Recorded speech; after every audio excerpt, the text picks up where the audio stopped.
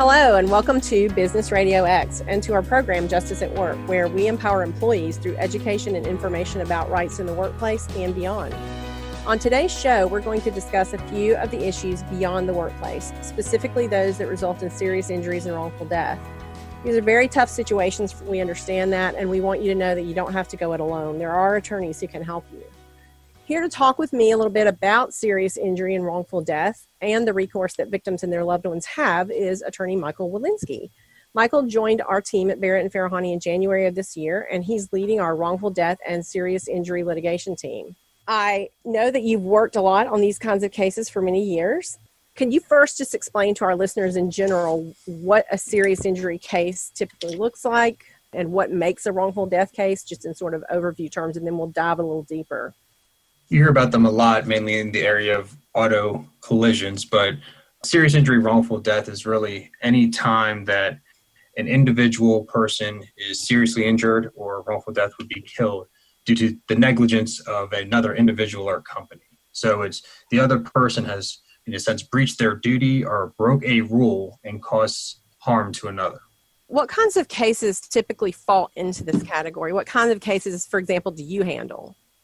So before the whole COVID situation here in Georgia, obviously the most common were serious auto collisions um, resulting in injury or death, tractor trailer collisions, motorcycle collisions. That was due to Georgia being one of the most populated areas. Um, that was definitely one of the most common. The other areas that we see are wrongful deaths, and they could occur in many different ways, not only from collisions, but hurt on a boat, hurt on ATVs, through medical malpractice, through chiropractic malpractice, through shootings at a apartment complex that doesn't have proper security, or an elder person who's treated improperly at a nursing home. So we handle all of those. We've learned over 10 years of doing this that instead of focusing on one area, we've learned that all of these cases are similar, where we really need to prove, sometimes through an expert or not, really how the company or person breached their duty and why they're at fault and they're negligent. And then we always are very good at proving the damages and the harm cost. I know that recently, just as an aside, you mentioned nursing home cases. I know that recently we, Barrett and Farahany, helped pass a law in that area that assists employees who report wrongdoing, helps protect their job. Do you want to say a little bit about that? Yeah, in Georgia, in, in many parts, we still the government has always said they're pro business and i've always said you can be pro business while still protecting customers and employees as well. And um, sometimes we haven't had laws in place that protect everybody. And in this nursing home elderly situation you would have situations where a person was being abused and if somebody reported it they would be fired. And that's not good because then somebody can't report. So these laws there's been several laws that passed this year to help against nursing home abuse, elderly abuse, and here helping with the reporting of that abuse when it's going on. Yeah, that's interesting. I think that's a big step for Georgia to pass a law like that. I know when I first joined the firm, we tried to get some similar legislation passed that would protect mandatory reporters of child abuse, and we're still not there on that one, but I think it's a good step in the right direction. In terms of the area of practice for serious injury and wrongful death, you mentioned COVID earlier. Uh, what kinds of effects are you seeing as a result of COVID? How's that changing how your practice in that area is looking? And are you seeing case types or features of cases that you didn't see before as a result of COVID? One of the main things, like I said before, and as you can tell by the advertising in Georgia, we, we had tons of cars on the road, tons of traffic, and due to that, tons of collisions. And one change that's happened over the past four months is we are not seeing as many the volume is down. However, the ones that we're getting are more severe. So for folks on the road, understand that people one aren't driving as much. So it may be like riding a bike, you always know how to do it, but practice, people are going at higher speeds and people may not be focusing as much due to just the times being more stressful and getting places fast. So just be very careful. We're seeing much more severe injuries. Um, just had a case come through where um, a lady went after the collision, had to go to the hospital, had to put a rod through seven of her vertebrae in her spine because her back was hurt so bad. Um, in terms of suing business owners, um, those cases are nearly impossible because COVID has a 14 day period where you can be without symptoms. And to be able to prove that a company you know, unless they literally were spraying COVID or, or just did something that's absurdly negligent, which would be even meeting the gross negligence standard, true malice, disregard for people's health.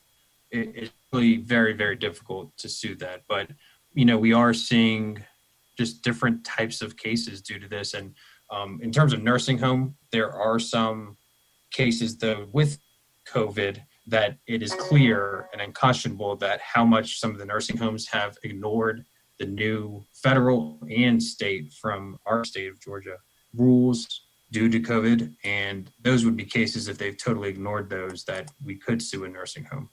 And do you think it's just that the roads are more open and people are just more careless because they think, hey, I don't have to deal with the traffic now, I can get somewhere in a hurry? That's interesting. You, you would think with, with less traffic, there would be also less accidents, but I guess it just means faster, faster drivers and more severe accidents. That's scary. Yeah, we are seeing less people on the roads. And here, especially in Georgia, people are not known for driving slow when they are able to. So we right. are seeing you have an open road like 400 or 285, you got five lanes. I mean, people are going fast, and you know, it only takes a split second of not paying attention for something really bad to go wrong. And in the area of cars in general, the two cases I see the most, especially with people under the age of 30 or especially kids under the age of 25, and which is probably happening more now because when you're in traffic, this isn't as concerning. But anytime you're going through an intersection and you see that somebody's waiting to turn left in front of you, so they're on your left, but they're waiting mm-hmm. to turn left. Um, I tell people now always assume that person's going to turn, especially under, kids under 25 or, or a lot of people. You know, you think a car is not going as fast, you think you can make it, and you go, and all of a sudden you cause a T-bone collision. And we've seen a couple of those, and that's just due to less cars on the road. People, you know, can't tell how fast cars are going Right. And there's people paying attention and running through stop signs and red lights. I mean, people these days are just more stressed, a lot more going on, and you know it's not good. But when you're in the car, you are handling a deadly weapon, and we just have to make sure that people stay focused. But you have a lapse in judgment, lapse in focus, and really bad things happen. So, are you finding, for the most part, that the people causing these kinds of accidents have sufficient insurance policies to to cover the people they're harming, or what are you seeing there? I mean, I would say generally no. Here in Georgia is much better in Florida. In Florida, you don't you can get a zero dollar liability policy. That means you have an insurance policy, but if somebody hits you, your insurance covers nothing. Here in Georgia, at least 15 years, probably should go more, but that's another conversation. But the minimum is 25,000. And if somebody is in a collision, and, and I, I mainly um, have focused on for the past six years serious injury. At the beginning of a situation, you never know how bad somebody is, so we always take people from the beginning. But a lot of our cases are surgical cases, and anytime somebody has a surgery, that's going to be a six-figure case, easily over a hundred thousand. If this the spine, it could be more than four hundred thousand. But clearly, if somebody has a twenty-five thousand dollar policy and a case is worth over a hundred thousand, that's not enough. Um, and that's why it's so important for everybody to have uninsured motorist coverage that's something you get on your own policy, which goes on top of the other person's policy if they're not insured enough. Which again is not required in Georgia, right? But you recommend it so that there's no personal liability or, or less personal liability in those cases? Yeah, so the only policy that's required in Georgia is a liability policy. In about eight, maybe 10 years ago, the Georgia legislature did require that an insurance adjuster must offer uninsured motorist coverage and that if somebody denies it, they must sign for it. Mm-hmm. However, people get tricked sometime by signing those documents online and they don't realize what they're giving up. And so, in terms of personal liability and why that uninsured motorist is so important, you you hardly ever would go after somebody personally. And the reason is that if you get a judgment for a, serious injury case, that's unsecured. So as soon as you get that judgment, that person can get a file for bankruptcy and get it wiped out 100%. Wow. Yeah. Yes. So it's it's it's very important. And one other thing about I'll ask people a lot when I first sign them up, um, what kind of insurance do you have? And they'll say, I have full coverage. Well, I want everybody to know full coverage means nothing. Full coverage is not a insurance policy. It's not some type of policy at all. It doesn't mean anything. So uh, it's important when you go sign up for insurance to find out are you getting liability coverage? Are you getting rental coverage? Are you getting damage coverage? Are you getting uninsured motorist coverage? Medical payments coverage? Those are five separate things.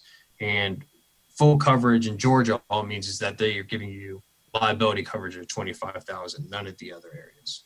Right. And while we normally think about helping the person who is injured, I think this is good advice for everybody because even if it's the case that the injuries you've caused exceeds the insurance coverage that you have, it could keep you from having to file bankruptcy to get out from under that obligation, for example. So it's really kind of a, a win win for everybody to have sufficient insurance in that area. Yeah, you really want to make sure you have the liability coverage that protects you if you hurt somebody, but then uninsured motorist coverage. And there's two different types there's traditional reduced, and then there's add on excess. Those are two different ones, two different names for each one. The traditional, say you got $50,000 in uninsured motorists and somebody hit you and they had 25,000. You would get to get their 25,000 and you could use 25,000 of yours because it's reduced, meaning your 50,000 subtracted by 25. But if you have right. excess or add on, yours gets added on. So you wouldn't have only 50 total, you would get their 25 and your 50. So you get the full 75 and it's not much more expensive to have that. The other one I would highly recommend is to have medical payments coverage. It's a no fault coverage, meaning whoever's in your vehicle. Literally, you could have six random people not wearing seatbelts, and one of them runs into a pole. But everybody in the car would get that towards their medical care, and you can get that for one thousand, five thousand, ten thousand, up to fifty thousand dollars. And so, if you did it for five thousand dollars, which would only cost you five dollars more a month, every single person in the car would get five thousand dollars towards their medical care. And you care about that because if you're driving the car and you don't have that insurance, then again, it comes back to your own liability and then possibly not being able to fulfill that because somebody's judgment proof or having to file bankruptcy to get out from under it. Right, right. So let's talk for a minute about Lyft and Uber. I know that, you know, with COVID afoot, people are somewhat hesitant or maybe somewhat hesitant to use these services for fear of being exposed. Are you seeing a lot of cases related to COVID in the Uber Lyft industry? No, we haven't got any calls about that actually. But once again, that may go back to you know how would you know if you caught it from the Uber driver? You know, if, if somebody's using an Uber or Lyft and not using a mask or going on couple with a mask, it's hard to prove where and when you caught something. So we haven't gotten any of those calls yet. We have seen, you know, over the past year, a rise in the amount of Uber and Lyft collision cases. That that we have seen, but that's probably just more to the use of Uber and Lyft now. I know you haven't seen those cases surface yet for Uber and Lyft drivers, but should those folks be thinking about changing their insurance coverage or should they be doing anything different to protect themselves in case this contact tracing can link it back to them? Yeah, for the COVID purposes, I don't think there's any policy special they should get. But one thing for any Uber or Lyft driver, your normal auto insurance will not cover it. So if you're driving for Uber or Lyft and you don't let them know, you're actually your coverage would be voided and would not apply if you hurt somebody. So it's very important if you're driving for Uber or Lyft that you let your insurance company know or you get another policy specifically for that. Either way, that you have a policy written that you're using your car for work purposes and that you're covered. The other interesting thing that we found through our litigation against Uber is that while you may be covered um, while somebody's in your car, there are some policies that were able to wiggle out that during the time you don't have somebody in your car and you're going to pick somebody up while employed by Uber and Lyft, those middle periods, um, you need to have a policy that also has that in it. And actually, some small insurance companies or new ones online have specific policies just for that period of time because some other policies have been able to wiggle out of that. One of the other things that I, know you handle in your practice is chiropractic malpractice and you know speaking of injuries and car wrecks and people who have issues from that i know a lot of people visit chiropractors but i also know that doesn't always go well can you talk about those kinds of cases and what you typically see in those cases and maybe give some advice to people about chiropractors what you should should avoid having them do if that's the case yeah so this is an area where it's fun because I didn't like choose it. I didn't know I was ever going to do it. And um, I go to a chiropractor every month to three months. I have a herniated disc in my lower back and my upper back goes out and, and it's good for me and it works for some people. Uh, some it doesn't. Um, I do think there's a benefit. If you're injured in a collision, I do think the better route from the beginning is seeing a medical doctor, not going to the chiropractor first, going to your primary care physician, and possibly going to a physical therapist, which is usually the referral. I would not start straight out with a chiropractor. Mm-hmm. Um, but in terms of chiropractic practice, I came into this um, because he started adjusting me about 20 years ago. He never really adjusted my neck. And if he did it, he did it so soft in a way that it was very, very soft. You know, not like, and I've gone to many chiropractors throughout my life, different places, and, you know, people do really violent. I've been there. yeah. yeah. and I, I asked him, why, why do you not do my neck like other people have? And he says, I'm actually one of the leading malpractice chiropractors in the nation. I did not know that. And um, it's one of the leading, in terms of the chiropractic malpractice areas, it is one of the leading causes. So if you do the neck too quickly and too hard, it can rupture that artery. And the most famous case so far happened to be um, dealing with the Playboy model. And you can understand why it became most popular. She went to the chiropractor, she got adjusted. Um, after about four hours, two hours, four hours, she calls the chiropractor and she's starting to feel dizzy and weird and have a headache. And the chiropractor didn't do anything and she died. And and so oh that's the biggest thing. Yes, it's very scary. If you allow a chiropractor to adjust your neck, definitely make sure that you know over the next couple hours you're not having a headache, dizziness, and if you do call chiropractor, and if it's getting worse, definitely call you know an emergency situation just to make sure. Um, the other thing to look out for with chiropractors when you go to one is, and some have and some haven't, but um, make sure they're taking a history. You know, every time you go in, they're asking you, "Have you been sick?" Like a medical doctor would. It's required and the reason it's required and taking that history is for that exact reason. If you're on a new medication, if you had an injury, if you're having high blood pressure, there are times they shouldn't do certain adjustments, especially your neck if you're in, in certain situations. Well, I was um, going to so, ask, I mean, would you recommend that people generally, I mean, I would want a chiropractor who said, hey, get an MRI first or get x rays to be sure that there's nothing about your neck that I'm going to exacerbate. I mean, is that something you would recommend just in general?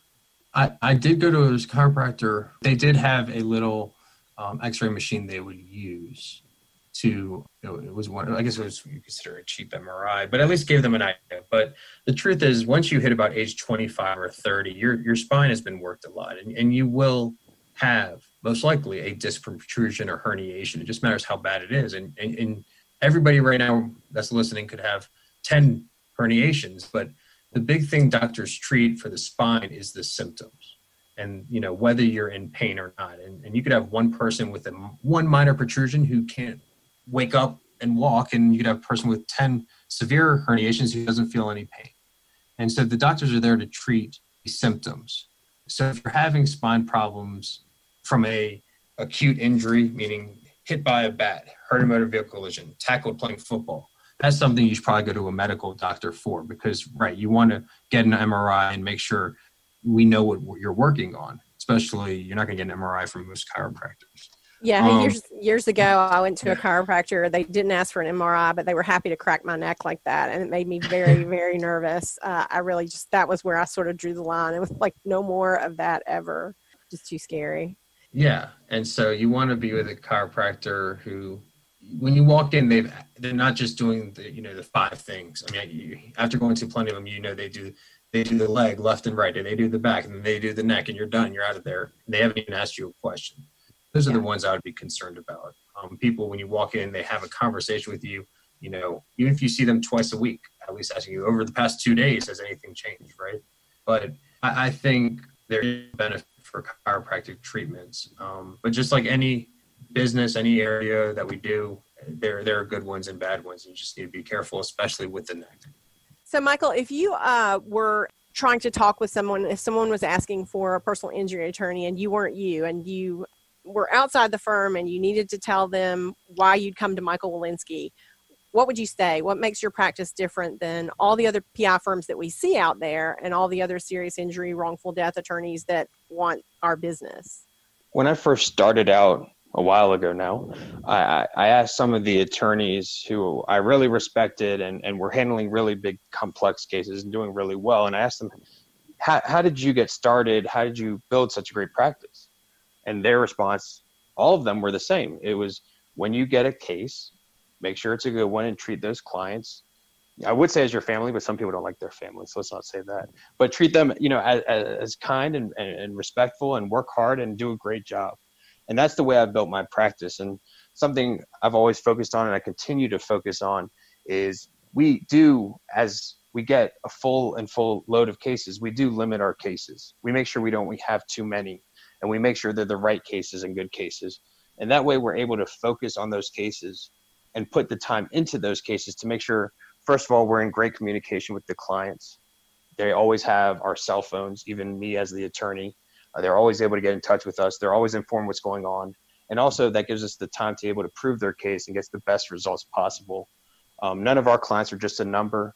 They're you know part of our business family, and we make sure that they and their cases are handled to the best way possible. And that's really made a difference. Instead of taking everything, we really focus on doing the best for good cases and good people. Yeah, I know there's a lot of personal injury mills out there, I'll call them, that will just take any case off the street, regardless of the value of the case or whether the person really has a good chance to recover um, and resolve the case to their satisfaction. So I do think that's important so that people understand, you know, exactly what it is they stand to gain by hiring an attorney. And it's just equally as important to to understand what you may not gain. And that's i know one of the things we do at barrett and farahany is to just be straight with people level with people about their case and the facts in their case and what it may or may not mean for them. And i think people appreciate that honesty you know rather than being told like yeah your case is great. Come on sign up. That's that's not really what i think people want to be looking for in an attorney yeah, I mean that's all true, and that's why I'm excited to join Barrett and Farahany because the idea of how to run a firm and how to treat clients and how to work cases is so similar. So I'm very excited to be a part of Barrett and Farahany now. And, and what you're saying is also true. Is just um, being able to understand the case and how to succeed, and make sure you have the cases to work on that the clients know are being cared for and will be worked well. That makes the biggest difference. Well, thank you for talking with me today, Michael. Hopefully, this information helps people get a better understanding of when to reach out to an attorney for help with these very difficult issues. I want to remind everybody about the COVID resource information on our website at justiceatwork.com. I want to invite anyone who believes they need help with employment issues or the kinds of cases we discussed on today's show to call us or visit our website and schedule a complimentary 20 minute phone consultation with an attorney to talk about your case and the facts of your case. Thanks to everybody for listening, and please tune into Business Radio X and Justice at Work again next month, where we will continue to empower employees through education and information about your rights in the workplace and beyond.